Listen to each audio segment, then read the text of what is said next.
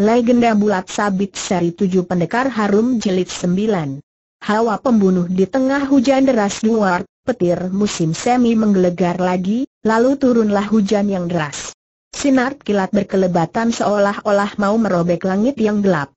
Tetesan-tetesan hujan berkilau-kilau bagaikan mutiara-mutiara yang gemerlapan, kemudian berubah jadi semacam tirai cahaya yang berwarna perak, lalu menutupi bumi yang gelap gulita.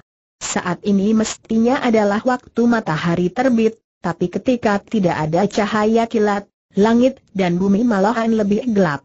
Chuliuk yang berdiri di bawah hujan deras, membiarkan tetesan-tetesan hujan yang seperti es batu itu memukuli badannya, dan merasa nikmat sekali. Ia telah menganggur terlalu lama, selama dua tahun ini, kecuali menikmati teh, minum arak, memandang rembulan, menikmati pemandangan salju dan keindahan bunga, hampir-hampir tidak melakukan apa-apa. Di dalam dunia ini seolah-olah sudah tidak ada satu hal lagi yang dapat merangsangnya untuk melakukannya dengan rela menempuh bahaya. Juga tidak ada lagi macam orang yang dapat membuat telapak tangannya berkeringat. Tetapi sekarang sudah ada. Sekarang lawannya adalah si Tian Wang yang malang melintang di tujuh laut, seorang yang tidak pernah dikalahkan oleh siapa pun. Rangsangan kegembiraan luar biasa yang muncul ketika memikirkan akan berhadapan dengan lawan demikian, dari dalam dada Chuliux yang muncul semacam rasa hangat yang tidak asing lagi. Tentang sukses atau gagal, menang atau kalah, hidup atau mati, ia sama sekali tidak masukkan ke dalam hati. Menempuh bahaya bukanlah hobinya, tapi adalah naturnya, seperti darah yang mengalir di dalam pembuluh darahnya. Hujan makin deras. Chuliuk yang berjalan dengan langkah yang panjang-panjang, keluar dari kota, lalu berjalan di sebuah jalan kecil yang becek di bawah lereng bukit. Ia sengaja berjalan ke sana, sebab tadi ia tiba-tiba merasakan ada semacam hawa pembunuh yang keras. Ia tidak bisa melihatnya, tidak bisa menciumnya, juga tidak bisa merabanya, tapi bisa merasakannya. Perasaannya amat peka dan tepat seperti seekor macan tutul ketika mencium bau darah. Atmosfer bau darah bisa mengurangi kedahsyatan hujan deras, hawa pembunuh juga demikian. Yang aneh adalah, hawa pembunuh yang ia rasakan ini malahan terasa lebih keras di dalam hujan deras artinya bahwa kali ini ia ketemu lagi seorang lawan yang amat aneh dan menakutkan yang mengintai di dalam kegelapan dan tunggu kesempatan untuk merenggut nyawanya. Ia tidak tahu orang ini siapa, juga tidak tahu mengapa mau membunuhnya. Yang ia tahu adalah ketika orang ini mulai menyerang, serangannya pastilah amat dahsyat, bahkan mungkin ia tidak sanggup menangkis atau mengelaknya. Tetapi ia bukan saja tidak gentar atau mundur, semangatnya malahan tambah terangsang. Ia menunggu orang ini muncul, persis seperti seorang gadis yang menunggu untuk ketemu pacar pada kencan pertama. Sekarang ia sudah menaiki lereng bukit yang tidak ada orang itu. Rimba gelap dan batu-batu bukit yang berbentuk menakutkan yang ada di lereng itu, semuanya merupakan tempat sembunyi yang baik bagi seorang pembunuh gelap. Hawa pembunuh yang tadi ia rasakan itu menjadi tambah keras, tetapi orang yang ia tunggu masih belum muncul. Orang ini masih menunggu apa? Di dalam dunia ini ada semacam orang sepertinya memang terlahir sebagai pembunuh. Mereka adalah orang, bukan binatang, tapi di dalam sifat alamiah mereka ada ketenangan dari beruang, kebuasan dari serigala, kegesitan dari macan tutul, dan kelicikan serta kesabaran dari rubah. Tidak diragukan lagi bahwa orang ini termasuk orang semacam itu. Ia masih menunggu, sebab ia mau mendapatkan kesempatan yang terbaik. Dan Chuliuk yang memberikan kesempatan ini. Waktu berkelebat dan berhentinya kilat dan petir itu ada ketentuannya, dan Chuliuk yang telah menghitung perbedaan waktu di antara keduanya. Sebab itu tiba-tiba ia terpeleset. Tepat pada saat itu cahaya kilat berkelebat, dari dalam rimba gelap itu tiba-tiba terbang keluar sebuah bayangan seperti kelelawar. Setelah kilat, datanglah guntur. Dari sisa cahaya kilat yang keluar dari awan gelap itu, bisa terlihat sekelebatan cahaya pedang, yang membacok dari atas bersamaan dengan bunyi guntur yang menggelegar. dengan kekuatan yang maha dahsyat, membacok ke arah kepalanya Chuliuk Siang ini adalah bacokan pedang yang, dari dulu sampai sekarang, tidak pernah meleset dan pasti merenggut nyawa musuh. Bacokan pedang ini seolah-olah telah menyatu dengan guntur musim semi yang keras mengegelegar itu. Yang tidak beruntung adalah Chuliuk yang bukan sungguh-sungguh terpeleset. Ia cuma pura-pura saja. Namun juga tidak mudah untuk memperagakan gaya pura-pura itu. Seperti ada sejumlah jurus pura-pura yang tujuannya mengecoh lawan, di dalam kepelesetan ini mengandung semacam pertahanan yang amat rapi serta semacam inisiatif yang bisa maju juga bisa mundur. Sebab, itu bacokan ini meleset. Langit dan bumi kembali gelap gulita, sehingga Chuliuk Siang tidak bisa melihat orang ini lagi. Tetapi orang ini juga tidak bisa melihat Chuliuk Siang. Meskipun ia dapat seperti ninja kelas tertinggi yang sanggup melihat banyak hal yang orang banyak tidak bisa. Melihat dalam kegelapan, namun ia sudah tidak bisa melihat Chuliuk Siang lagi. Sebab setelah meluputkan diri dari bacokan pedang itu, tiba-tiba Chuliuk Siang menghilang bagai suatu keajaiban. Cahaya kilat berkelebat lagi.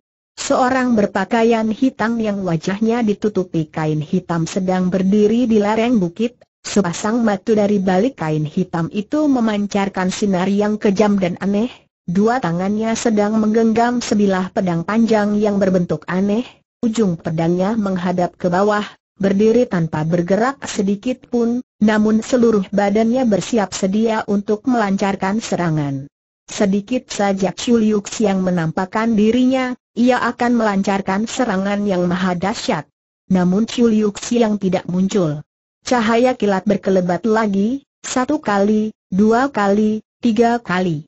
Orang ini masih berdiri di sana dengan tidak bergerak, masih mempertahankan gaya yang sama. Ia tidak bisa dan tidak berani bergerak. Karena situasi saat ini telah berubah. Lawannya telah merebut keunggulan yang tadi ia miliki, yang seperti ia tadi mengintip dan menunggu kesempatan di dalam kegelapan, yang setiap saat bisa melancarkan serangan maut. Jikalau ia bergerak sedikit saja, maka gayanya yang hampir mencapai taraf kesempurnaan ini akan menjadi rusak. Waktu yang hanya sekejap mata itu sudah cukup untuk menentukan menang atau kalah dan hidup atau matinya. Ia tidak berani ambil resiko ini tiba-tiba hujan jadi reda, langit mulai terang, meskipun ia masih tidak bergerak, namun sepasang matanya yang tenang dan kejam itu mulai goyah. Sebab energinya sudah terkuras banyak sekali. Sebab berhadapan dengan seorang lawan yang tak kelihatan, dan berhadapan dengan sebuah situasi yang setiap saat bisa terjadi namun tidak bisa diprediksi itu, tenaga pikiran dan tenaga fisiknya terkuras lebih banyak dari ketika ia mengayunkan pedang untuk melancarkan serangan. Yang lebih menakutkan adalah keadaan mentalnya sudah mendekati keruntuhan. Ia tidak berdaya menahan tekanan ini. Siapa pun tidak berdaya, sinar matanya mulai redup, ujung pedangnya tadi menghadap ke bawah, sekarang mendadak diangkat tinggi-tinggi. Tepat pada saat ini, dari dalam rimba gelap itu tiba-tiba terdengar kata-kata yang disertai keluhan panjang, kau mati, kau sudah mati ada seorang yang berkata dengan penuh kepiluan, seandainya pendekar harum ciu sama seperti kau suka membunuh, maka pada saat ini kau sudah menjadi orang mati. Aku betul-betul tidak mengira bahwa Chun Lei Yichi, ninja nomor satu dari Yihe, catatan, nama tempat di Jepang, yang punya julukan tak terkalahkan, kali ini ternyata kalah dengan begitu menyakitkan. Pendekar Harum Ciu belum menyerang, tapi kau sudah kalah di tangannya. Sungguh teramat sayang ketika mengucapkan kalimat yang terakhir, suara orang ini sudah pergi jauh. Tiba-tiba Chun Lei Yichi duduk di atas tanah yang becek, tiba-tiba menghunus sebilah pedang pendek dari ikatan pinggangnya, lalu menikam perutnya sendiri. Ada seorang gadis yang memakai payung kertas minyak berwarna merah terang, keluar dari dalam rimba gelap itu dengan langkah ringan, dan ternyata gadis yang mengenakan pakaian yang penuh bersulaman bunga sakura ini adalah Yingzi. Meta pedang mengiris perut dari kiri ke kanan, dan darah menyembur laksana anak panah. Tetapi Nona Yingzi sama sekali tidak melihatnya, malahan tersenyum manis ke arah sebuah pohon yang letaknya agak jauh, dan berkata sambil memberi hormat yang takzim, pendekar Harum Chiu, pada malam ini ketika lampu sudah dinyalakan, ada seseorang yang menantikan kehadiran Anda di tempatnya Nona King di Wisma Lupa Perasaan. Saya pun berharap Anda bisa pergi ke sana, tapi tidak tahu apakah pendekar harum berani pergi. Catatan, Nona King, nama seorang wanita penghibur kelas tinggi, Wisma Lupa Perasaan nama sebuah tempat penghiburan. Gelas kristal yang mengkilat, kecapit tujuh dawai yang berbentuk indah, di atas dinding yang berwarna merah pink itu tergantung sepasang sajak kuplek yang ditulis seorang ahli seorang tua berambut putih yang kurus dan Kate, mengangkat gelas sebagai tanda memberi hormat kepada Ciliuk Siang, dengan semacam sikap yang sopan dan anggun sekali.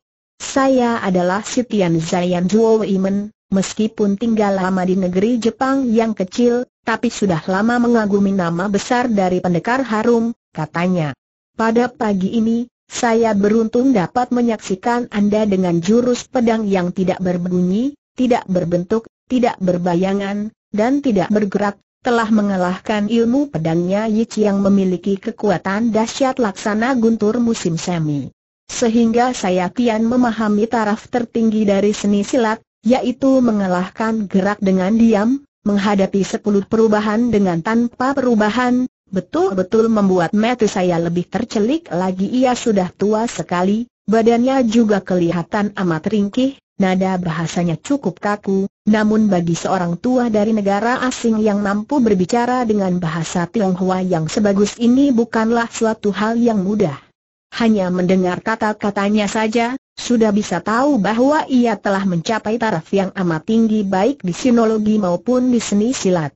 Dari sepasang matanya yang berbinar-binar, juga bisa terlihat bahwa di dalam tubuhnya yang ringkih itu masih terdapat kemauan yang keras, dan semacam merasa percaya diri dan hormat diri yang tak boleh dilanggar.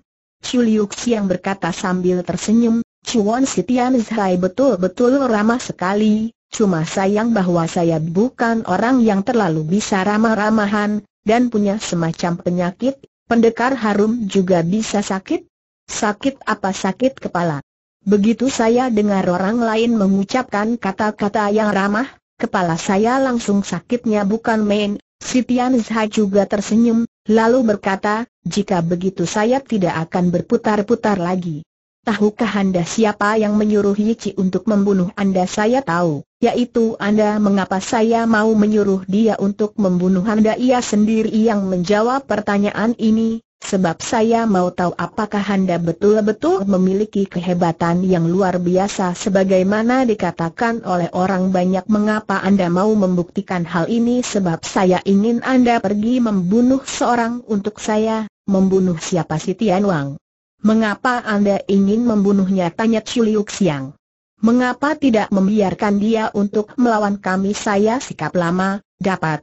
Mau membunuh dia, itu hanya urusan dendam pribadi di antara kami berdua, bicara orang tua itu masih begitu lemah lembut, saya sudah hidup terlalu dan satu-satunya keinginan saya semasa saya masih hidup, ialah berharap melihat ia lebih dulu mati dari saya. Dengan sepasang matanya yang berbinar-binar itu ia menatap Ciliuk Siang, lalu berkata, tentu saja sangat tidak mudah mau membunuhnya, satu-satunya orang yang sanggup melakukannya mungkin adalah Anda. Namun saya pun tahu bahwa sama tidak mudahnya untuk meminta Anda pergi membunuhnya, tiba-tiba ia bertepuk tangan, dan Nona Yingzi segera masuk dengan membawa sebuah peti. Saya tahu bahwa ia telah membeli sebuah peti dengan harga 300 tael, kata orang tua itu. Tapi saya percaya bahwa harga peti ini barangkali masih lebih dari 300 tael. Ia membuka peti itu, ternyata dalamnya penuh dengan mutiara dan batu giok yang berkualitas tinggi. Chuliuk yang berkata sambil menghela napas panjang, peti ini barangkali paling sedikit juga bernilai 1500 tael. Sekalipun ini adalah barang haram, jika dijual kepada tukang tadah, juga bisa laku 700 sampai 800 tak Sitian Zhai berkata sambil tepuk tangan, pandangan mata Anda memang jeli sekali. Namun care saya menilai agak berbeda dengan Anda, berbeda dalam hal apa care saya adalah menilai dengan orang. Saya selalu suka menilai orang. Saya perhitungkan bahwa harga peti ini sudah bisa membeli keperawanan tiga anak darah. Juga sudah bisa membeli jumlah orang gagah berani yang sama, yang rela mempertaruhkan nyawa mereka bagi saya mutiara-mutiara dan batu-batu giok dalam peti itu kelihatannya makin bergemerlapan di bawah sinar lampu, bahkan Shuliuk yang sampai termangu-mangu memandangnya. Sitian Zhai memandangnya dengan memicingkan mata, lalu berkata seraya tersenyum, sekarang peti ini adalah milik Anda. Jikalau Anda berhasil melaksanakan hal yang saya minta tadi, masih ada satu peti yang sama yang akan jadi milik Anda tiba-tiba Chuliuk yang tersenyum, lalu berkata sambil tepuk tangan juga, Xiao King, di manakah kau? Bisakah kau masuk sebentar? Catatan, Xiao King adalah panggilan kesayangan dari Nona King. Tentu saja Xiao King bisa masuk. Jikalau ia tidak berada di sini, bagaimana bisa tempat ini bernama Wisma Lupa Perasaan? Jikalau ia tidak berada di sini, ada siapa yang mau datang ke tempat ini? Sebenarnya Xiao bukanlah wanita yang terlalu cantik, matanya tidaklah besar, mulutnya tidaklah kecil, bahkan badannya agak kurus. Namun dia sanggup membuat banyak orang tidak bisa melupakannya. Sebab setiap orang yang melihatnya akan merasa bahwa ia memiliki sesuatu keistimewaan, sesuatu yang berbeda dengan wanita yang lain. Tentu saja ia pun memiliki persamaan dengan wanita-wanita yang lain, yaitu ketika melihat barang-barang permata, matanya juga bisa bersinar terang. Barang-barang di dalam peti ini paling sedikit bernilai 1500 tael, Tanya Chuliuk Siang. Andai kata Pak Tua ini mau memberikan peti ini padamu, apakah kamu mau menemani dia tidur bagaimana aku tidak mau suaranya Xia Oking begitu empuk dan begitu lemah lembut, pekerjaanku memanglah demikian, tapi bagi kami orang wanita yang bekerja demikian, seumur hidup pun tak akan bisa memperoleh uang sedemikian banyak. Seandainya itu bisa diperoleh hanya dalam waktu semalam, menyuruh saya melakukan apa saja juga mau ia berkata sambil menghela napas. Hanya sayang bahwa malam ini saya tidak bisa memperolehnya, mengapa tubuh Xia Oking yang empuk itu bersandar di tubuh Chuliuk Siang, memakai jari tangannya yang empuk itu untuk mengelus-elus hidung Chuliuk Siang dan berkata, sebab malam ini ada Anda, saya mau menemani Anda tiba-tiba air muka Sitian Zhai berubah jadi pucat, sebab ia telah menangkap maksudnya Chuliuk Siang.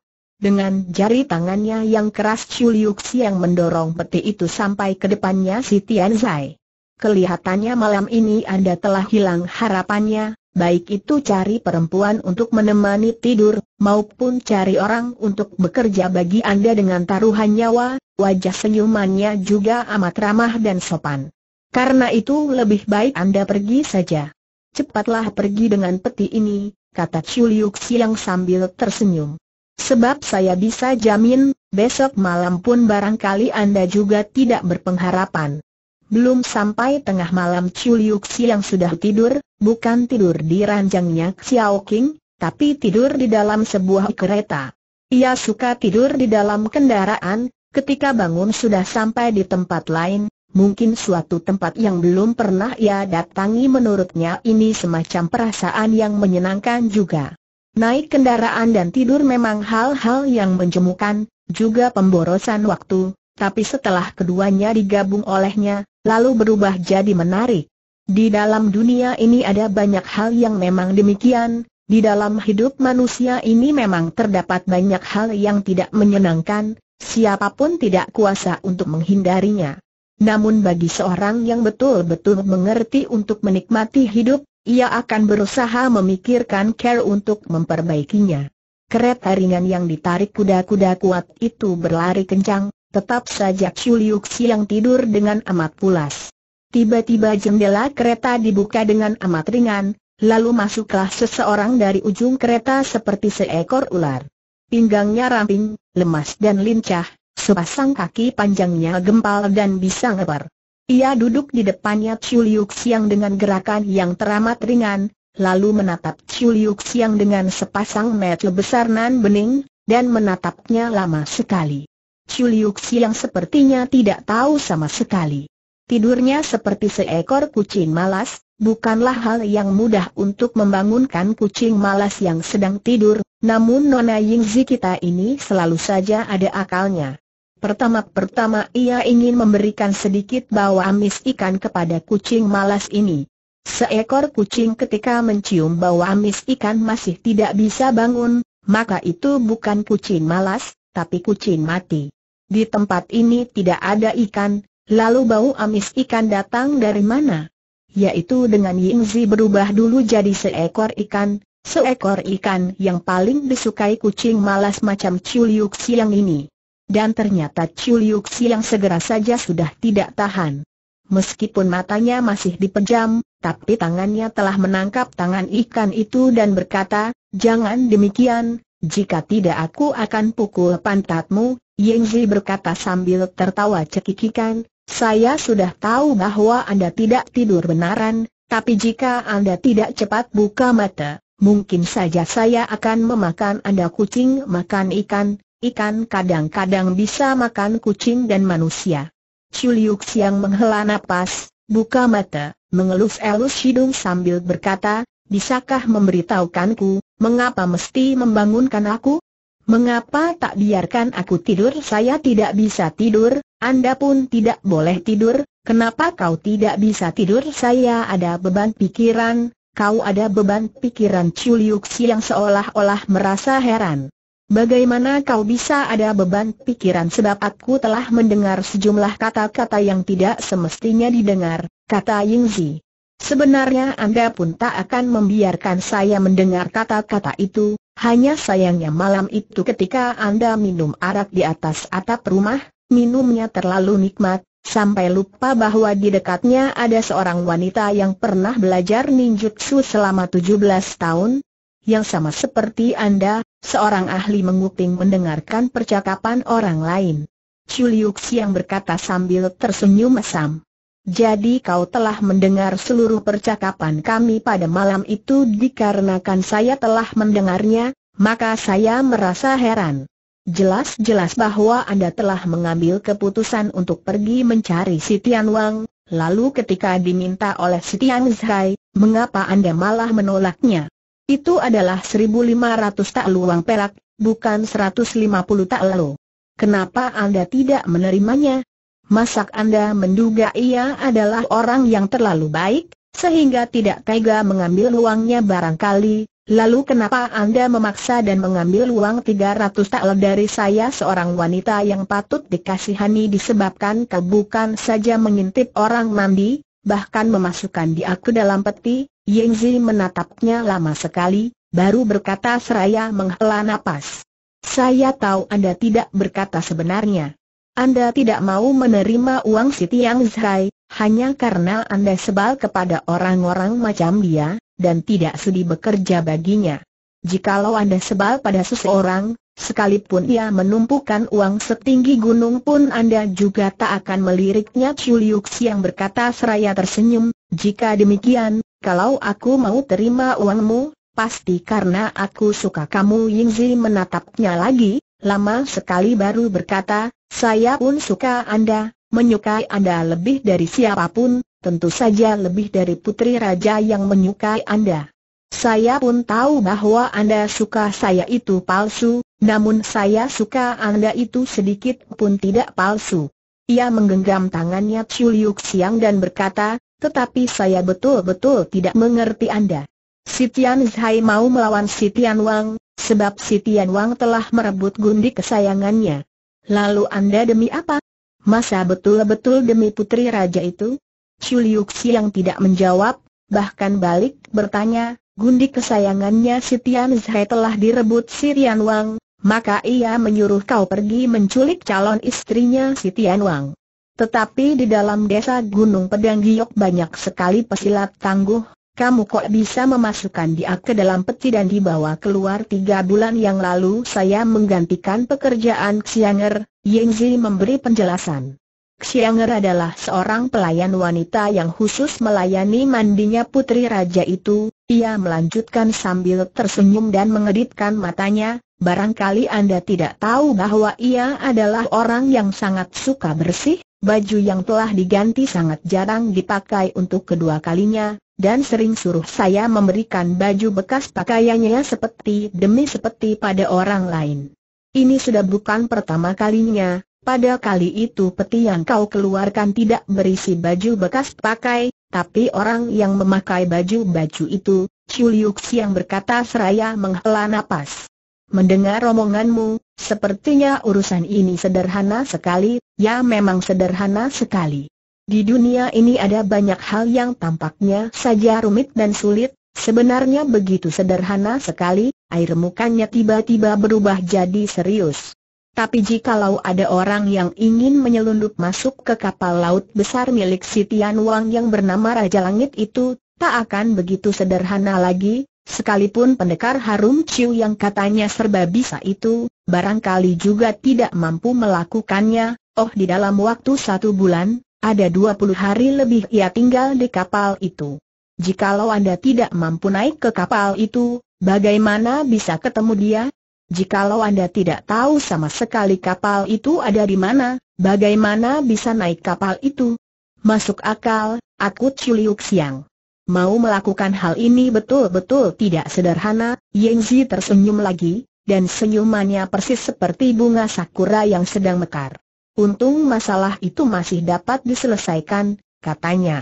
Masalah yang bagaimanapun sulitnya pasti ada care penyelesaiannya, bagaimana caranya asal Anda dapat mencari dan menemukan seorang yang mampu untuk membantu Anda, masalahnya pasti beres, Siapakah orang yang mampu itu? Saya Yingzi menunjuk hidungnya yang kecil namun indah itu dengan sebuah jari tangan yang lembut dan mulus, sambil berkata, orang yang mampu itu ialah saya, Chuliuk yang juga tersenyum, senyumannya lebih gembira dari Yingzi.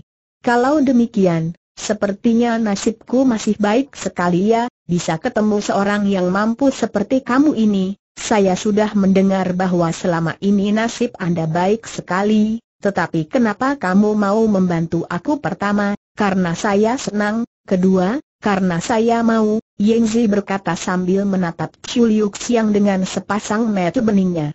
Ketiga, karena saya suka Anda, kenapa tiba-tiba kamu berubah jadi demikian suka aku? Apakah Tuan Sitian Zhai menghamburkan uang ratusan ribu tak lagi untuk menyuruh kamu suka aku Anda kok bisa omong demikian kata Yingzi dengan sedikit marah. Mengapa Anda selalu memandang saya sebagai orang yang tidak punya perasaan? Ya, ya, aku tahu kamu adalah orang yang penuh perasaan, aku tahu juga, jika tidak ada kamu, aku tidak mampu melakukan hal itu, Chuliuk yang berkata dengan suara lembut. Tapi tahukah kamu satu hal yang saat ini paling ingin aku lakukan itu apa saya tidak tahu, Yingzi berkata sambil mengedipkan matanya, suaranya lebih manis dari madu. Saya sungguh-sungguh tidak tahu, aku percaya, suara Chuliuk siang pian lembut. Aku percaya kau bukan saja tidak tahu, bahkan tidak pernah menduganya Yingzi berkata dengan mata genit. Mungkin saya tahu.